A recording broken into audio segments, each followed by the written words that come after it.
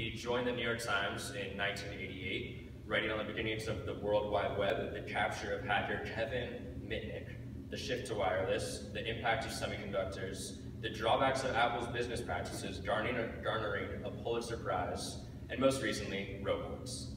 He has transformed many of these subjects into books, including Takedown, sparking controversies in multiple films on Mitnick, What the Dormouse Said, detailing the connection between the personal computer and culture of the 60s, and what we're here for today, Machines of Loving Grace, the quest for common ground between humans and robots, examining the future of artificial intelligence and begging us to ask, how much longer will we allow robots to take over our jobs?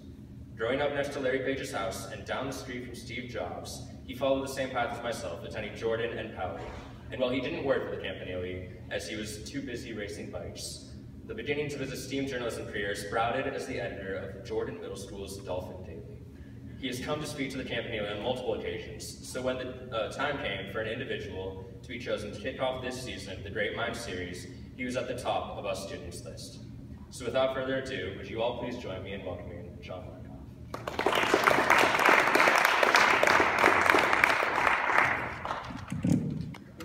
Is that good? Good.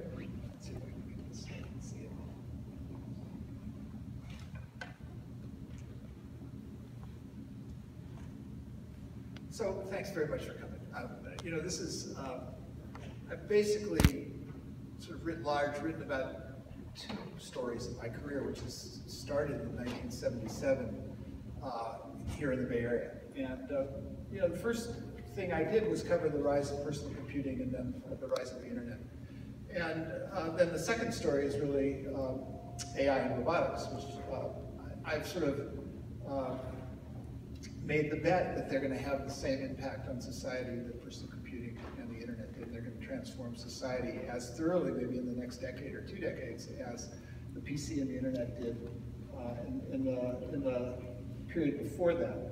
Uh, you know, so first the, the, title of the book, I grew up in the 1960s. Um, Richard Brautigan was a wonderful poet in college. I read a lot of Brautigan, but I actually did not discover the poem All Watched Over by Machines of Loving Grace until I, I was here in Silicon Valley in the 1980s when personal computing took off. And it was very evocative for me, which is why I chose the, title of this book, of sort of the choice that we have about uh, designing ourselves into or out of um, these systems that we're building.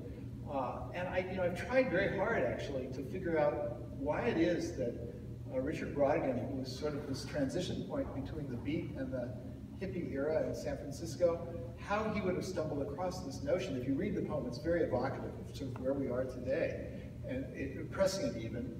And the closest I've been able to come in terms of sort of what motivated Brautigan is that in the spring of 1967, he became the poet in residence at Caltech for 10 days. And in those 10 days, um, something must have struck him uh, because he came, came away and, and wrote this poem. The one thing that I've seen reported is that he spent an afternoon with Richard Feynman, um, the, the, Nobel laureate physicist, and maybe it was something who, who actually focused a lot on computing physics. So um, before I start, just uh, you know a little bit more. Misha probably told you all you need to know about my my background, but I can't resist since I'm here in Palo Alto. Um, you look at that that picture, that redwood tree in the back is the back of my parents' house on California Avenue, and this, of course, is on Waverly Oaks. And this is the gateway to the Delemus Hacienda, which is this wonderful hidden building in the middle of the blocks, which is surrounded by Waverly and and Bryant and Santa Rita and uh, California Avenue. And of course, a number of years ago, it was bought by Larry Page. And, uh, but if you haven't gone into Waverly Oaks, you really should go back to this. It's sort of the most hidden bit, bit of history in Palo Alto. This is where the Padres camped when they came up uh, El, El, Camino Real, I think in 17 something. And there are three of the original uh, adobe tiles that are still there. And it's, it's just wonderful lost history. But um, this is my paper route in Palo Alto. I was a paper, a paper boy for the Palo Alto Times, um, and I was the paper boy both at the house where Larry lives now and the house that Steve used to live. And that's that's my my family's house where we used to own at 375 North California. I mean, just one little historic note that you might enjoy. When my dad died in 1995, I saw the papers about the house. And in 1951, he bought the property for $3,000 and he built the house for $18,000. My dad was not an architect, but that was the house we grew up in. Um, so, you know, I of got drawn into this changing world of robots. And what brought me in really was uh, something that uh, the Defense Advanced Research Projects Agency began doing in, uh, in 2000, 2004. Uh, they began holding a series of contests because the, the, uh, the Congress had, had told the Pentagon that they needed to have a third of the nation's land vehicles be autonomous by 2015. That's this year.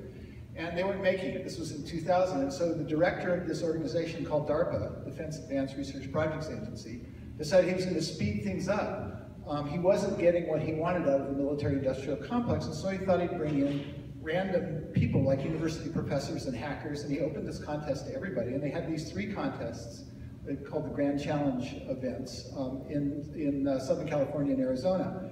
And uh, out of it came this remarkable advance. And at the second one, Andy Rubin, who was the person who would later build uh, Google's robot division, which is just over here on California Avenue, um, said this to me, and I didn't get it for about three or four years, you know, PCs sprouting legs. But at a certain point, it sort of dawns on you, you that these machines that were in cages before um, are starting to move around in the world. And uh, what, what struck me really is, uh, I think most clearly, was I think in 2012 I was away from the paper and I was I was working out at the Center for Advanced Study for Behavioral Sciences behind the Stanford campus where I had an office to work on this book. And uh, Coupa Cafe, you know, has a place up by the golf course. And one morning I drove up to Coupa Cafe for breakfast and uh, I parked my car and this woman drove up next to me in a Tesla. And uh, she got out and she set up her golf, her golf cart and she walked off and the golf cart followed her. And I just looked, the first time you see something like this, your jaw drops, you can't imagine. But I managed to pull my iPhone out of my pocket, and I got this Yeti-like picture. That's the golf cart following her. And so then I immediately, um, after that, went and, uh, you know, you Google anything. Caddy. And I realized, um, you know, it's on the internet. This, this is this is like being in Fry's. This is anybody can get one. It's, it's now down to fourteen hundred dollars. And the only question was will the batteries last for eighteen holes.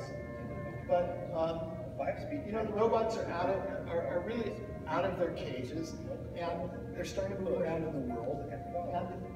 And it's, it's this different time, and, it, it, and, that's what I've been trying to report on since, since 2004.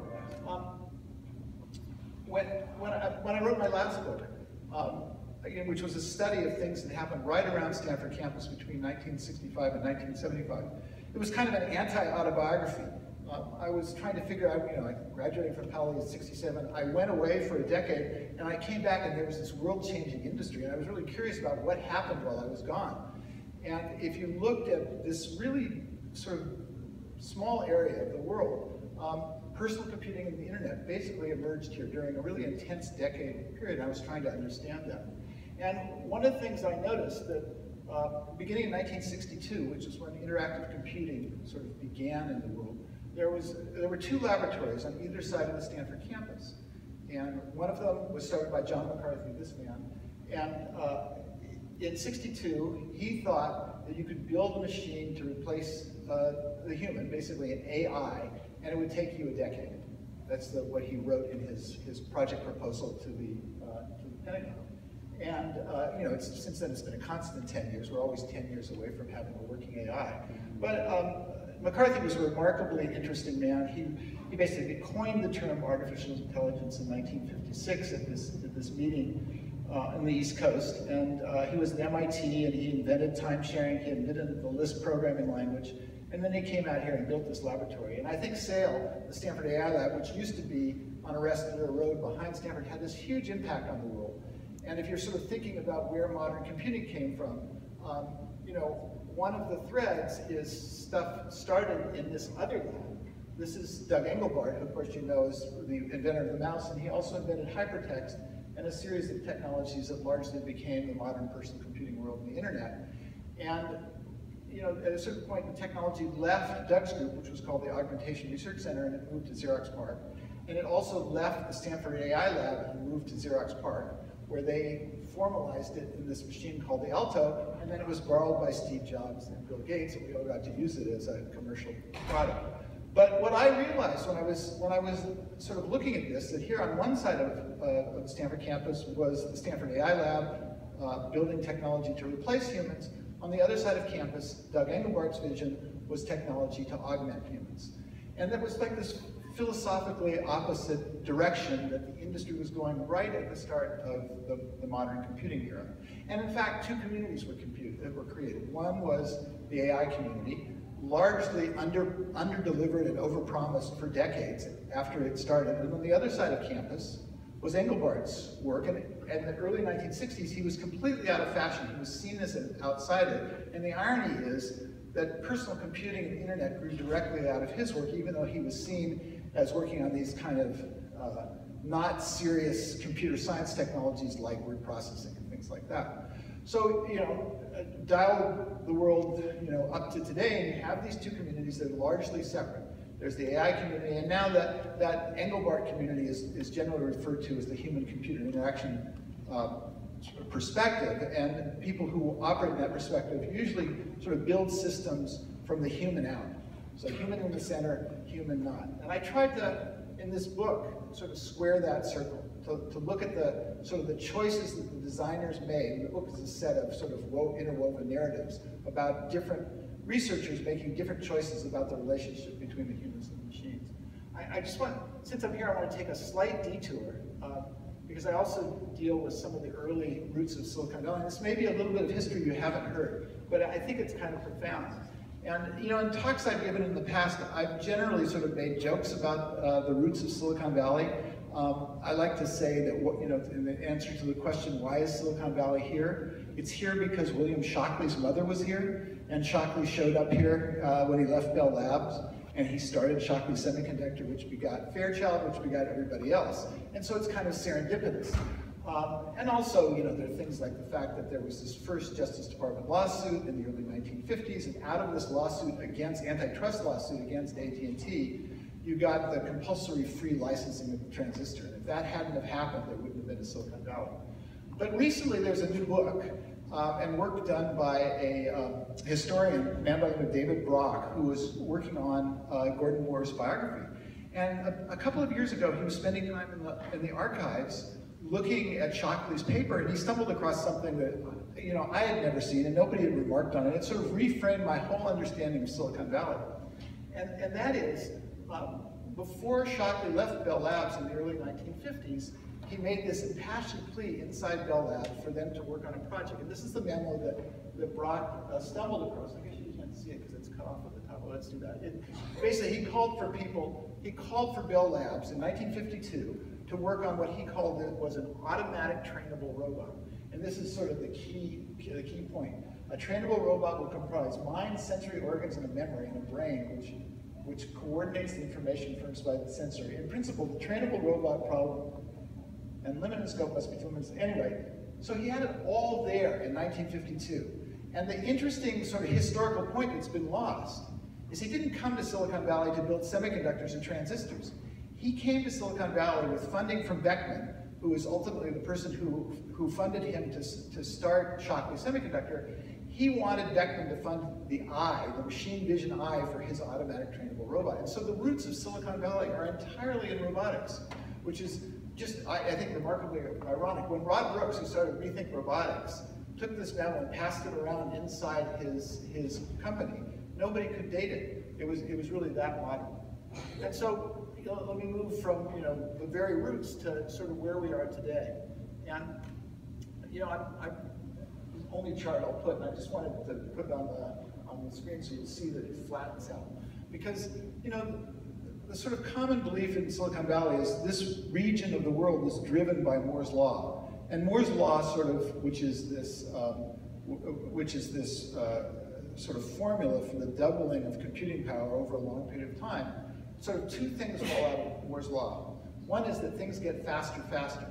But more important, they get cheaper faster too. So they're both exponentials. And we've lived off that as an economy for two or three decades, four decades actually, um, at a very regular point. But, but my point is, it's over. I mean, um, we are now closing in on the end of Moore's law. And so a lot of the goodness, the sort of the free sort of technological change that we've ridden on, that has created each new generation of technology from mini computers to personal computers to portable computers to smartphones.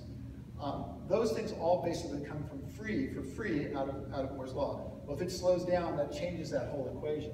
And what's ironic, and why I mentioned in this, in, in this context, is that we're at this point um, where Elon Musk and Stephen Hawking and Bill Gates and Stuart Russell are all publicly starting to worry about the pace of technology and sort of positing that it's going so fast that we're going to get self-aware machines. This is called the singularity um, in, in a matter of years because, of course, things get faster, faster, and they sort of make the leap of faith um, from speed up to automatic intelligence. And my point is, oops, you know, things have sort of slowed down. Um, I still think it's very, it's, it's, great that they've raised, raised the points that they've raised, but it may not change the, the, the world in, the way the way they think. So there, there are lots, lots of evidence that suggests that Moore's law is slowing. It hasn't stopped. Um, we'll, we'll, go on for another half decade in some way, but maybe at a slower pace, and that sort of changes everything. Um, I may jump back again to the, the very beginning. This is Shakey. And Shakey, of course, was designed uh, about two miles from here at SRI. And Shakey's important. Um, it was seen as a failure uh, at the end of its uh, project life in, in the, the, 1970s. It started in the 1960s. It was started by Charlie Rosen, who was uh, a physicist at SRI. He was also one of the families that created Ridge Vineyards, a really interesting man who sort of took on the project of building um, an artificial intelligence very, very early on, in the same sense that, um, that John McCarthy did. And he built Shakey as a platform for doing uh, AI research. And out of it came really remarkable stuff. Basically, the navigation stuff you use in your phone has its roots all the way back in Shakey, uh, as does Siri. Uh, Nuance, as a company, grew directly out of the work that was first done, first done on, on Siri. And, um, you know, uh, Rosen was a very good salesman. He went to the Pentagon and convinced them that they they needed to work on this Sentry, this uh, sort of intelligent machine that would be a guard at a military base. And they said, do you think you could carry a gun? He said, oh, two or three, how many do you need? So uh, right from the beginning, um, and Shakey was also very controversial because it made it onto the cover of Life magazine in 1970 as the first electronic person. And the reporter got a little carried away, and there's a big debate about the things he asserted that Shakey, Shakey was doing, such as racing down corridors faster than humans could race and looking in the windows. And apparently the machine was in the shop while he was making these assertions about what it did. Um, so Bill Duvall um, went to Woodside High School, um, also raced bicycles, uh, and then went away to, to UC Berkeley, took all the computer classes you could take and then dropped out because there was no more computing to take, and he came to SRI. And I, I mentioned Bill um, because he was the first one to cross over. So he started on the Shakey project shortly after he came uh, to, to work at uh, SRI. And he worked on it for a couple of months, and it was kind of a top-down and militaristic project, and it wasn't so much fun. And he was looking down the hall, and he saw these kind of crazy, long-haired people who were doing this interesting work on augmentation, and he jumped. And he, he crossed over from AI to IA. He went to work for Doug Engelbart and his group that was working on this idea of intelligence augmentation. And Bill was the one, um, you know, there was this Watson come here quick moment of the ARPANET, which was the network that was the forerunner for the internet. There was a first message. And Bill was the one who sent it. He sent it on October 29th, 1969. Um, and, uh, and actually, there's, sort of a funny story about it. Uh, it wasn't actually an email message, it was actually remotely logging into a computer. Uh, and Doug's software was supposed to be the first sort of killer app for the network. You were supposed to use the network so you could use his software, which think of it as modern, as, as modern person computing, or the forerunner of modern person, from a distance. And so, of course, logging into computer, you type LOG, and on that night, on October 29th, the machine crashed at G. And the reason it crashed was with something called a buffer overflow. A buffer overflow error is one of the security vulnerabilities that is still plaguing the modern computing world today, and which is one of the reasons I've given up on covering computer security. It just got too discouraging because just got worse and worse. I'd written the same story for 40 years and I had to do something else. But, you know, so Bill was the first one to cross over from AI to IA. Another important figure who did the same was a man by the name of Terry Winograd. And Winograd you might know as a retired now emeritus professor at Stanford, but as a young man, he was a wunderkind at, at uh, MIT AI Lab. Uh, in the 1960s, he'd written a program called SHRDLU. And SHRDLU was a natural language understanding program, and you could basically control, uh, uh, give a computer instructions and it would act in your behalf in a virtual environment. And he came out here after that, and he worked on AI for more than a decade, mostly on natural language understanding. And then famously in the early 80s, he walked away. He gave up. He'd been having some conversations with professors at Berkeley like John Searle and Hubert Dreyfus, who were very skeptical about the, about the potential for making thinking machines. And at a certain point, he walked away, and he really moved all the way over to the HCI community. He began working on systems in which humans were at the center. And, you know, I think Winograd's a, good example of the fact that a single human being can have an impact on the world based on their values. Because he has these very sort of human-centered values. And one of his contributions to the world was convincing Larry Page, as his doctoral thesis, to do PageRank. Rather than doing flying cars or self-driving cars or what have you, Larry worked on PageRank, which led to Google, which I would argue is the most, you know, the most powerful example of an augmentation tool ever invented in human history. Um, and, you know, it, it, came pretty much directly from the values that, that uh, Terry took away from his experience with AI. So, um, similar thread, um, these are the two architects of, of Siri, um, uh, Tom Gruber and Adam Cheyer. They met at SRI, they spun out and then famously were bought by Steve Jobs, who in the last year of his, of his life inserted Siri into the Apple interface as a, as a sort of fundamental point of user, user interface for a small device. Both of them were um, sort of inspired to do Siri by a vision video that had been created by John Sculley in the 1980s called Knowledge Navigator, which became very popular. But it was an example of sort of sort of, sort of human imagination forcing design. And I can't tell you how many times I ran across AI scientists who were inspired by science fiction novels as I was, as working on this project, particularly actually Space Odyssey 2001 can't tell you, I, I, ran into more than half a dozen people who wanted to build HAL. That's why they went into AI, which not, was not the reaction I had. Um, so in, in 2004, um, you know, robots were coming out of their cages. This is uh, a car in the in the uh, in the first uh, DARPA Grand Challenge. It was a, a Carnegie Mellon team, heavily funded by um, by General Motors. A wonderful, uh, interesting engineer by the name Red Whittaker put this team together, and they were they were favored. They they came like a military team. But as soon as they started, and there were probably 20 entrants or, or thereabouts, as soon as they started, you could tell that things weren't going to go exactly as planned. On one side of the road, this is on the other side of the road.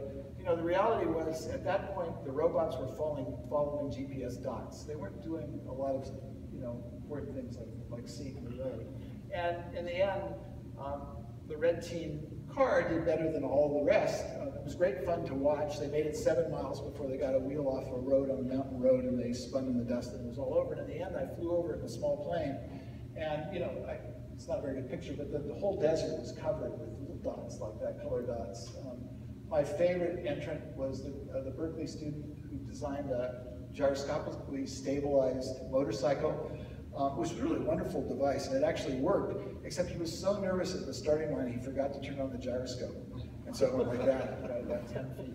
So it was considered a huge failure, and the DARPA uh, guy who was behind it, Tony Tether, was kind of a laughingstock in 2004. But uh, 18 months later, everything changed. This is, of course, a Stanford Stanley, uh, which, uh, which won a $2 million cash prize. Uh, it was all very impressive probably looked more impressive than it actually was, but it sort of set the world on this direction toward autonomous vehicles. Along the way, there were some bumps in the road. Um, one of the best things that can happen to you as a reporter is to be in a robot crash that you can walk away from. Um, and so this is Sebastian Thrun, who, who uh, led this team and then later started Google X and the Google self-driving car project. And we were going along a, a, a desert road in Arizona, and everything seemed fine and the car went over a, a, rise and came down into a swale, and the LiDAR, which are those sensors on the front of the car, swept over a branch of a tree. And Sebastian had this big red e-stop button to, if something went wrong, but the car was off the road before he could hit the e-stop button. And uh, this was really lucky because there were two huge rock piles on either side of this brush. But we ran into the brush, he, he straightened out the LiDAR, uh, we took off again. There were some other problems that day. Uh, it, was, it was really great fun, but in the end, um, uh, it, actually was a really exciting race because the red team, the Carnegie Mellon team, was, was winning at this race until about the last 30, 40 miles and something broke and Stanford came up by them was $2 million prize. And that led directly to, uh, to Google uh, entering the uh, automotive uh, sort of uh, driving research part of the industry, not the industry.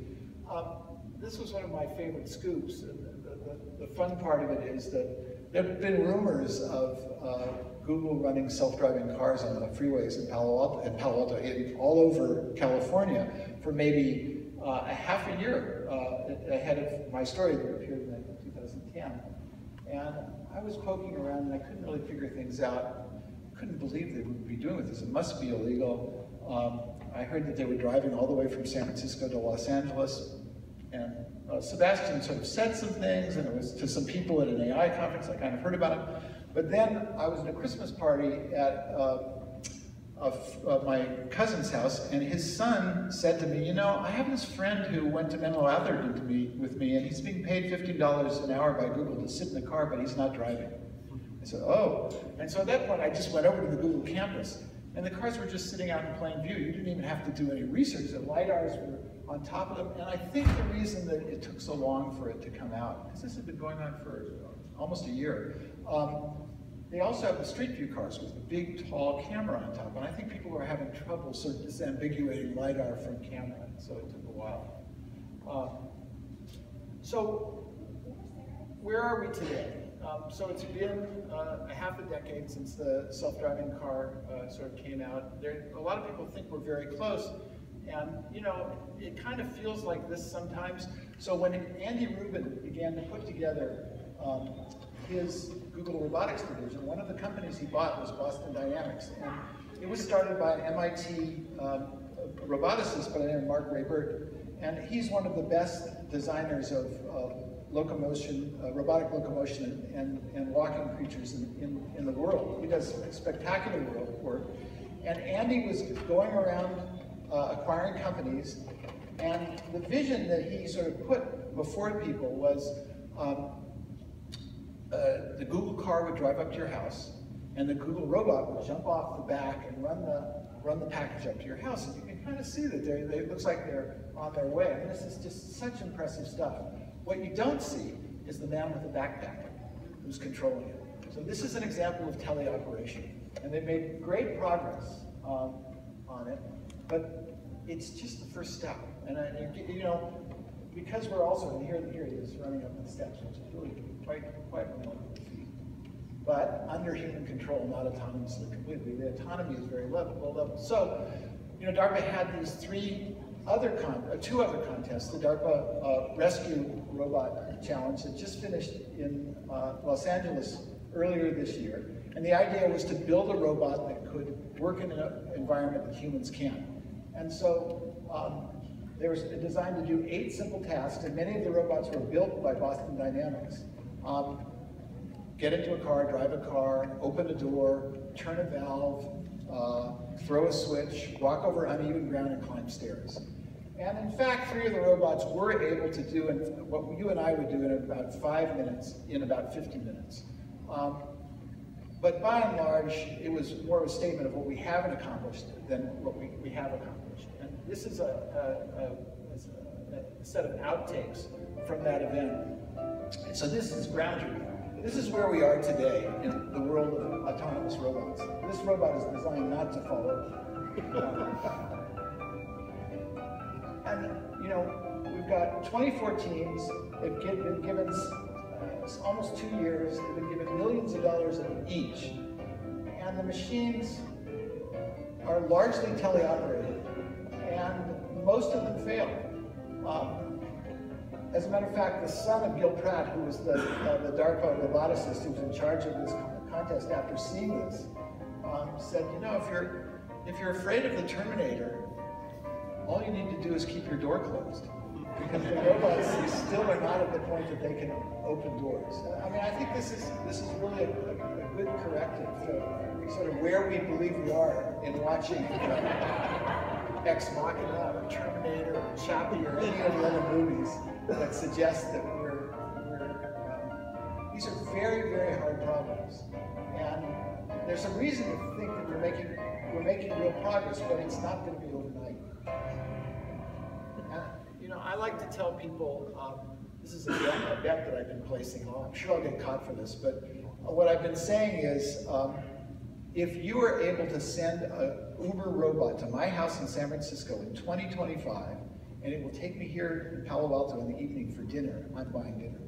So that's where I think we are, and I'll, I'll say a little bit more about that in a while, but I just wanted to say a, a, a little bit more about the, the jobs issue, because um, I was involved, I think, in part in creating this uh, this discussion. And you know, there's there's periodically in American society we, we get really alarmed about the possibility of technological obsolescence. We're back in that period now. There was a period in the early 1950s. There was a period in the early 1960s, and we're at that juncture again. This is Norbert Wiener, who basically invented the term cybernetics in the late 1940s, and he began worrying about automation and computing. And in 1951, he wrote another book called The Human Use of Human Beings. And, and Wiener made a real effort to contact the labor movement and raise this issue. And, and you know, at that point, uh, we entered the Eisenhower era, and it dropped off the, the map uh, as an issue for almost a decade. It came up again in the Kennedy administration and dropped off the, the, the uh, the screen again, we're back. Um, in 2010, this is an article I wrote about uh, the legal profession. I began seeing uh, technologies that would displace $35 an hour uh, paralegals and $400 an hour attorneys uh, and do a demonstrably better job of reading documents than, than humans. And it really is, those technologies have changed, have begun to change the legal profession. It's also happening in radiology. You're getting these programs that are able to do perceptions, do machine vision, they're having a big impact. And so um, there's been a wave of concern, um, and, and, with some reason, because the workforce clearly has changed in the United States over the last half decade. There's been real concern about sort of the shrinking of the American working class and the danger of polarizing our, our, our, our labor force into an elite and uh, you know, a, a sort of a low-paid proletariat. Um, but the fact is that right now in America, there are 140 million people working, more people than have ever worked in American history. And then so people, when you say that, say, ah, but the labor uh, participation rate is down. Workforce participation, the, the percentage. And you know, then when you start to pick that apart and say, what part does technology play in these labor changes, you, you run into this real problem because it turns out that the dominant factor in the decline in labor, labor force participation rate is people like me um, it's my generation, the baby boomers, have moved through the workforce and they're now exiting the workforce, and that's that's probably the, the, the largest factor. Um, so I've been trying to pick apart a very nuanced, um, a very nuanced sort of discussion about about the labor force. In 2012, I spent a half a year trying to get into China. And because uh, my employer is having a little squabble with the Chinese government, I ultimately couldn't get a visa, a working journalist visa to go to China. And so I went to the Netherlands instead and discovered this factory, which was built by the Philips Corporation, um, to automate the production of their uh, high-end shavers. Uh, electric shaver is arguably a more complex uh, product to assemble than a cell phone, smartphone. Uh, more parts, um, more manual. And these are 128 uh, uh, adept robot arms. Adept is a company that's across the, across the bay um, that work at two second intervals and can make 15 million uh, shavers a year. The only humans on the line, and they do, they do just remarkably complex tasks at very precise intervals. Uh, the only humans on the line are eight women in white jackets who sit at the end of the line and do QA. And the way they do QA is they listen to the shavers because it turns out that's the best way to tell them if it's working correctly. Um, and the reason that this technology hasn't yet come to China is shaver models, well, smartphone models change about every nine months to a year. Shavers change about every half decade to a decade, so you can get the capital investment back that you put into the shaver line. But these machines are becoming much more programmable now. And you know, an example of this is another com company that Andy Liu bought um, for Google, which was a, uh, two years ago, it was just south of San Antonio in Palo Alto, and it was an example of um, artificial intelligence, machine learning technology, and the falling cost of sensors. Uh, this is a company called Industrial Perception that now belongs to Google. And they took on the, the, sort of the task that they wanted to automate was loading and unloading Federal Express trucks. Uh, and you know, the economics of this situation is a human worker can move one box every six seconds. They weigh up to 70 pounds. Uh, their, their backs get hurt, they get tired. And these guys were acquired by Google. They were able to move one box every four seconds. So it's clearly an area of the economy that's going to be just, it's not that great a job. Uh, and uh, in, in the future, I think most warehouse tasks and the loading and unloading trucks will be done by machines. So should we, how worried, and uh, you know, the sensor in this case is, is, is uh, a Kinect sensor, that device that allowed you to play games in the home uh, with uh, Microsoft Xbox. And what happened is in a very short period, machine vision, which had cost about $10,000 per application, fell to $100. And you get those kinds of changes, you can do things you could never do before. Um, you have to be careful about uh, your predictions. This is a book written by, by Jeremy Rifkin, who's an economist who argued in 1995 that we were about to have no jobs. In the succeeding decade after that, the economy grew, grew more robustly than it had in history. 19% growth. So you have to be very careful. And, you know, I continue to pick things apart. Many of the books that have sort of raised the specter of this impending crisis have argued about this, this uh, situation where 13 programmers at Instagram, books argue, in effect displaced 140,000 workers at, at, at Kodak. You know, photo sharing, digital photo sharing based on the internet, and chemical photography. And it's just wrong. Um, it's a much more complex situation which you can think of, you know, do it as a thought experiment. First of all, um, Fuji, who was Kodak's competitor, made it across the chasm just fine. You know, the reason that Kodak died was not the internet. Kodak put a gun to his head and pulled the trigger a number of times until he was dead by making business mistakes. Furthermore, Instagram and its 13 programmers couldn't become the powerful service that it became until the modern internet emerged. And how many jobs were created by the modern internet? Probably more than two and a half million, many of them very good jobs, two and a half to three or four million. So, you know, picking it apart this thing, you run into a very different model. My, my view changed over the three or four years I've been reporting on this. Most of it is a conversation I had with Dan, uh, Danny Kahneman, the economist, behavioral economist. So I had my hair, hair on fire and I was making this argument about robots in China and arguing that, that they would be a disruptive force as they displaced um, manufacturing. And Kahneman said, um, you don't get it. In China, if we're lucky, the robots will come just in time. I said, excuse me, what do you mean? And he said, you know, it's a shrinking, uh, it's a shrinking population. And of course, we, you know, we know this now because they just changed the one-child policy. But nevertheless, the number of 19-year-olds in China is going to shrink by a third over the next over the next decade. I mean, it's really dramatically shrinking, as is Japan, and the whole world, in fact, is aging. The most dominant sort of force in the world, shaping what the world is going to look like over the rest of the century, is is aging.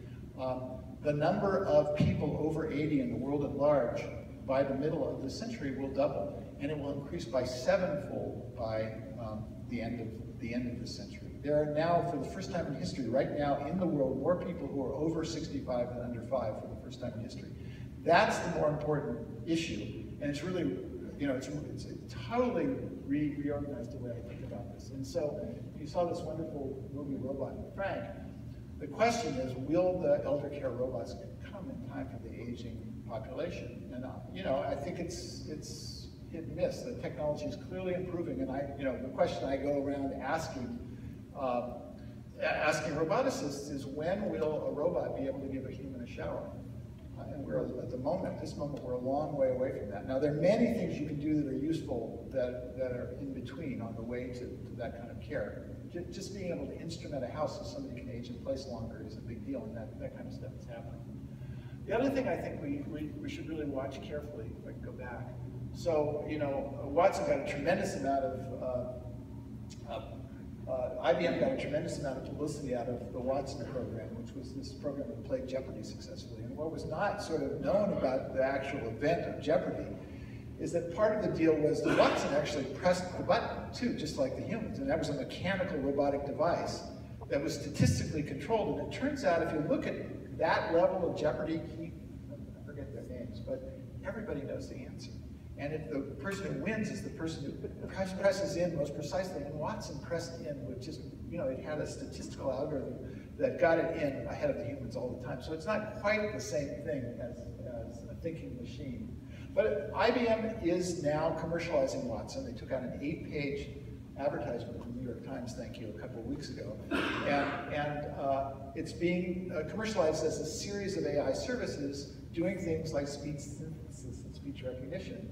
And I, am fascinated to see what conversational systems do to the, the, economy, because that's one of the places where the middle class has grown most strongly. People who answer questions over the, over the phone, salespeople, technical support people. And you know, this is the next, the next wave. Um, IBM told me a couple weeks ago that they've actually dumbed down the speech synthesis technology on Watson because it sounds too human. And they didn't want people to feel that they were talking to a human when they weren't. So it's, we're, we're at that point already. And so you might, you know, look at those, many of those jobs already left the country in the form of outsourcing of call centers to the Philippines and, and India. And now we have this ironic sort of note of the jobs coming back to the US, but they're coming back as software and data centers beings.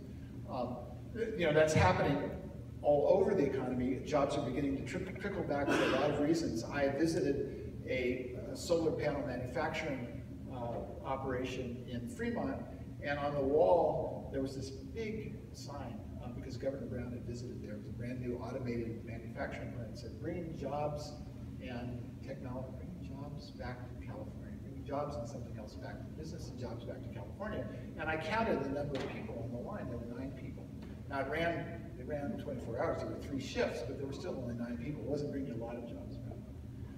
So there's other things that we should look at in terms of the dark side of this technology. And uh, to my point about self-driving cars being as much as a decade away, I know you probably all saw that Tesla has begun to market this feature for the S that they call self-driving autopilot.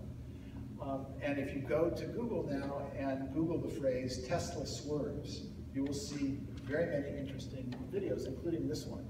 Um, whoops, let's go back, sorry.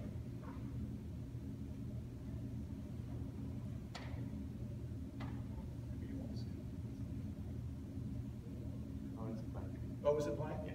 Oh, sorry. Okay. I go back.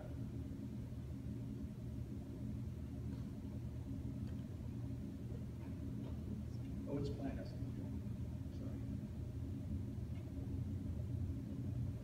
You can't really hear it, but that's doing something that it wasn't supposed to do. Um, you know, the technology largely comes from an Israeli camera maker uh, uh, called Mobileye. And Mobileye is in many uh, uh, you know, modern vehicles. It's in Volvos, it's in uh, Audis, Mercedes, GM cars. And it has the lane keeping technology, but it's lane keeping technology. It's not a complete perceptual model of the environment. And so I'm worried that uh, Elon's experiment is basically this alpha test with his, with his user base. And if one, you know, one bad crash, can set autonomous driving back for, for a decade. There are some other good signs about the limits of automation. I mean, here we've had this wave of new automation technology. Recently, Toyota's done a number of interesting things. And one of the things is last year, they began putting workers back on the manufacturing And the reason was, is even though they had these really quite perfect lines that had very high quality production operations, once you built the line, it didn't improve itself. The machines are not self-evolving, they're not going to be evolving anytime soon, and so they put humans back into the loop to find out ways they can improve the production process, which I thought was very interesting. The other thing that happened is about two months ago, Toyota came here to Stanford and gave the AI department $25 million, and they went to MIT too and gave $25 million there too. And it was to build, to design, not self-driving cars, but to, to design intelligent cars, cars that would sort of wrap around you and make you a safer driver, but keep you in the loop. And it's a just sort of different philosophy about driving. And it's interesting that that's the way they, they chose to approach it. Um, just sort of out of my reporting, there are a couple of things I wanted to end on, just sort of thoughts about where we are. Um, so we're at this point where these machines are really quite powerful, and we have some choices as a society of how we relate to these machines going forward. Um, Microsoft is running this fascinating experiment in, in China uh, with a chatbot now called Xiaoice. A chatbot, you know, you typed it, it types to you. Unlike Siri and Cortana and Google Now, they're designed as productivity tools. You ask it something or tell it something, it gives you an answer, you go on about your day. Um, Xiaoice is designed to have a conversation. Uh, and on, on mobile phones in that world, it's become extremely popular. There are 20 million users, 10 million are intense users who have multiple conversations, up to 60 a day with this machine. They call it toilet time. The kids go into the bathrooms and at 11 o'clock and interact with the, the programs. And it's 25% of them have typed I love you to Xiaoice. This is right out of the movie Her. Uh, uh, from our American sensibility, 50% um, have said thank you. Um, the way they've sort of improved over most chatbots, I mean, if you play with most of the chatbots you've seen in, in our culture, um, they're like dancing dogs. It's impressive, but they get boring very quickly. But Microsoft strip mined the entire Chinese social web. And so they got these question answer pairs that made it much more likely that if you sit, type something to the machine, the machine would type something back to you that would be compelling. And it turns out that, you know, they, and so I talked to the Microsoft researchers who were involved in designing this at Redmond, they were even freaked out a little bit by what was happening and the level of, of interaction. And of course, Sherry Turkle at MIT has just published this book about reclaiming conversation and the value of face-to-face -face conversation. You get this image of a her-like society where all of our conversations are with proxies.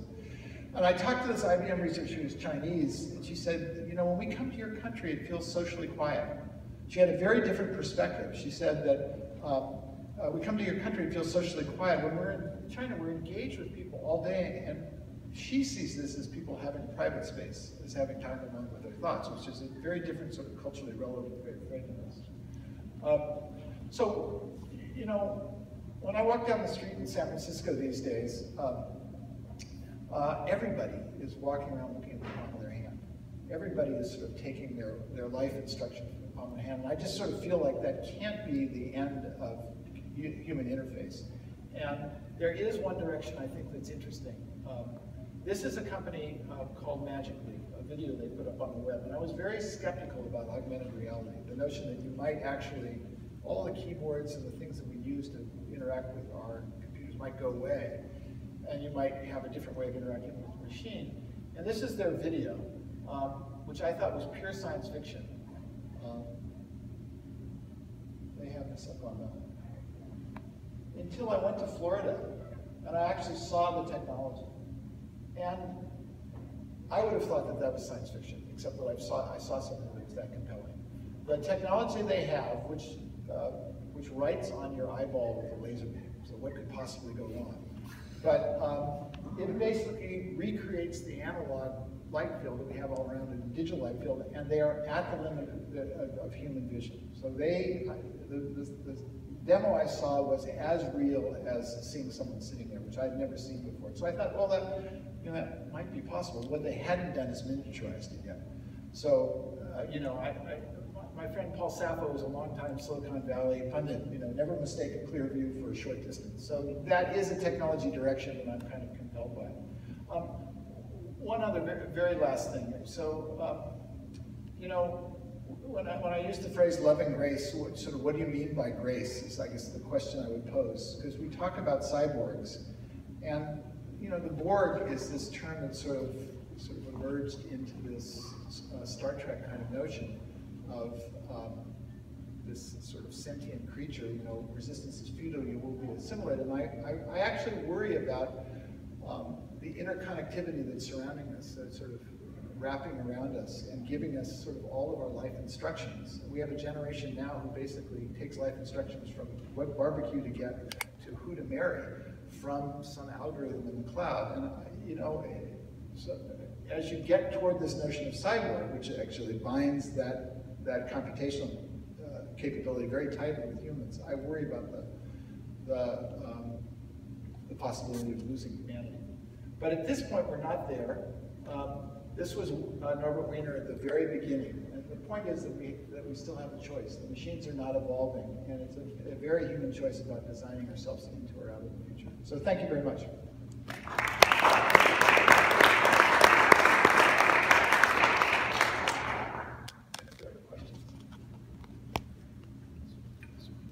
So yeah, if anybody has any comments, questions, yes. Uh, didn't Wiener also write the book God and Golem? He did at the very end of his life. It was kind of a, a, a meditative. Very, so cybernetics, I've been very interested in, in, cybernetics, and one of the things I, I didn't talk about here is that uh, when McCarthy coined the term artificial intelligence in 1956, it turns out that the reason he came up with the term artificial intelligence is that he hated Wiener. It was a personal vendetta. He wanted nothing to do with discussing anything with Wiener, who he thought was who he thought was bombastic and a bore. And he also thought cybernetics was too analog. He wanted something that was digital, and artificial intelligence uh, was proposed. But I think in some ways, cybernetics as a as a, as a perspective was actually a more appropriate way of sort of looking at the world. It was the science of the study of communications and control in animals and, and humans. And it sort of fell out of favor in the US, but know, it, it, it maintained a following in Europe. And actually now there's an effort at the Media Lab uh, at, at, MIT to bring back a sort of cybernetic science that draws together biological and, and computing elements. So. He was writing a report that meant gun control for anti-aircraft. So that's how it works. Cyber is Greek for governor, yeah. But yeah. you know the, what the point of the story God and Golem? I've forgotten it. Well, it, the elevator explanation is the Jews of Prague, to, in the ghetto, to protect themselves, to invent the golem, which is sort of this big protector and automaton of sort, which ends up oppressing them. Yes. So, you know, the, unfortunately, you got to be a little bit careful about what you want. Well, yeah, Frankenstein myths have been with us for forever. Yeah. I mean, the golem the golem analogy is this really spooky one. I mean, even the golem, you had to place this piece of paper in it to program it. It was a little bit like a, uh, you know, a program, a software program. The, the yeah. analogies are really kind it's of kind of like Frankenstein without the personality. Yeah. so that, I mean, that's the analogy yeah. he was even worried about then. Yeah. Wiener was prescient. There's one in the one in the front. Hi, I was just wondering. Um, from what you've been looking at, do you think there are capacities or, or skills, abilities that humans have that robots and machines sort of are fundamentally incapable of emulating or, or copying? So, you know, I've, I've, I've read and reported a lot on this subject. Um, David Autor is one of the people I think most highly of, who's a labor economist at MIT, and he's written this wonderful piece called "Why Are There Still So Many Jobs?" Uh, uh, and one of the things he brings up is the sort of the thinking of a French uh, philosopher, Michael Polanyi, and uh, Polanyi basically says that um, we um, we know more than we can tell, and he argues that there is a, a an aspect of human knowledge that cannot be codified. And if you can't codify it, you can't compute it. And so he defines that as the limits of automation. And you know, that's, that's kind of compelling. And then I go over to UC Berkeley and I talk to some of the people who are working on deep, deep learning, deep belief nets, and they're very optimistic. They're extremely optimistic about how far they can push this biologically inspired technology, which right now is doing perception pretty well, not, not at human levels, but is doing vast improvements in perception, but it's not doing cognition so well. So, uh, you know, until I, you know, my, my sort of rule of thumb is until it's in Fry's, it's not real. And, and you know, this sort of the assertions that this community makes, and they, and, you know, Kurzweil, um, um, you know, who's uh, Jeff Hawkins, um, Bill Atkinson, who's one of the MAC team, or people who argue that we understand the basic mechanism, biological mechanism of cognition in the cortex, and it's simply a matter of scaling it up. And when I talk to neuroscientists, they say, you know, we have hardly have a clue, and I sort of am in that camp at this point. So, so let me uh, ask the opposite question. What can machines do way, way better than we can? Or what do you preview that we will be able to do? Yeah. Well, so, um, what can they do? Well, so, um, they're beginning to, I mean, God, it's, the list is so long. this list is so profound. I mean, uh, you know, anything that's based on calculation, um, uh, but the, what they can do, so I'm, in, in these new areas of computing, like machine vision and language understanding, um, the combination of these algorithms, which have actually been around for a while, coupled to the big data sets that the internet makes very easily to uh, accumulate and increasing computer power, has led to this really rapid increase. And uh, where, you know, AI as a field uh, overpromised and underdelivered for decades, and now for the first time, things are different. And they're on this remarkable rate of progress, and as I said, uh, you know, the caveat that they're doing really well on perception. However, if you go over to Berkeley now, they're using deep learning techniques and they're teaching robots how to do dexterous grasping using that, that basic uh, appro- you know, machine learning approach, which suggests that it might have a much broader sort of applicability. And so then speed becomes, because the computers can, can, you know, can, can, can iterate so many times, so quickly, then you can, you can do things that are actually useful. I, I, you know, I, everywhere I go, I see an example of computing that's, that's, you know, that's having a big impact on the world. I can't, you know, I can't begin to enumerate it, just, it's too broad.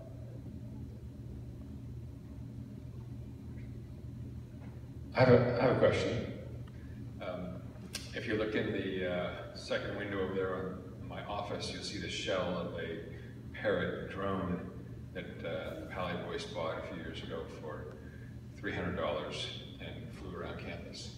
Uh, Then we got another drone and flew that around, and now our interpretation of the law is that um, that organizations such as a student group are not, uh, that it's not okay for, it's not legal for us to fly around anymore.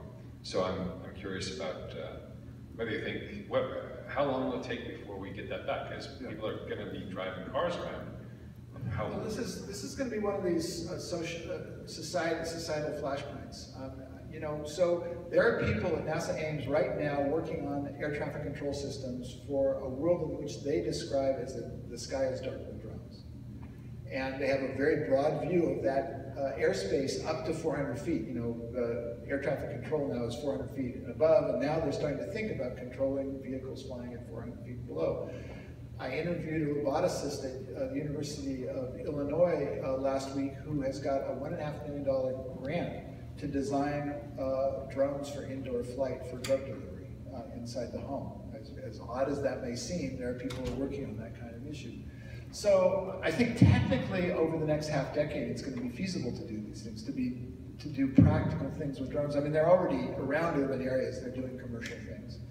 Um, they're being used in warfare, and uh, I don't think the, the issue is technology. I think that's going to come very quickly. Uh, there, there was an MIT press release today about uh, uh, sort of basically giving drones uh, sort of a Star Wars navigation capability through dense forests to be able to autonomously fly through very, you know, lots and lots of obstacles with, with ease. Uh, so that part's that part's done. The question is, do we want our society to be one in which we're surrounded by flying things?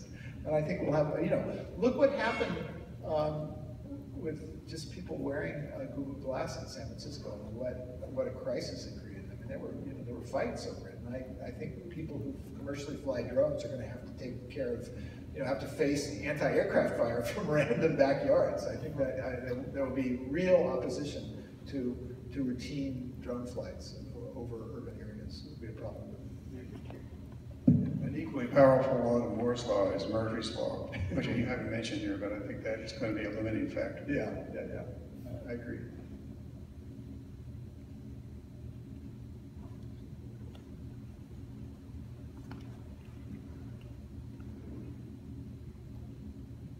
Hi. Um, in the context of self-driving cars, um, we face a point where cars have to make ethical decisions.